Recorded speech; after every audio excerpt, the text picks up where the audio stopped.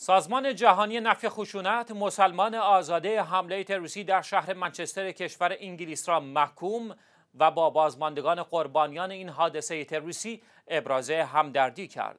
در بیانیه این سازمان که نسخه از آن به دست خبرگزاری شیویوز رسیده آمده است، رفتار و خلق و خوی تروریسم کوردل که در عملیات خود پیر و جوان و زن و کودک را قربانی می کند بیانگر اوج سیاهی تفکر وحشیگری و خونخاری آنهاست که هدفی جز تفرق افکنی و نشر نفرت در بین جوامع بین الملل ندارد که حادثه اخیر در شهر منچستر مثالی واضح بر این امر است. این بیانیه افزود ما بارها در بیانیه های خود همکاری جوامع بین المللی و حکومت های دنیا برای توقف اعمال تروریستی و مبارزه با آن را خصوصا در کشورهای خاورمیانه خواستار شده ایم تا از انتشار تروریسم در سایر مناطق جهان از جمله قاره اروپا جلوگیری شود. سازمان جهانی نفی خشونت مسلمان آزاده ضمن اشاره به حادثه تروریستی خونین اخیر در شهر منچستر انگلیس از تمام جوامع بین الملل خواست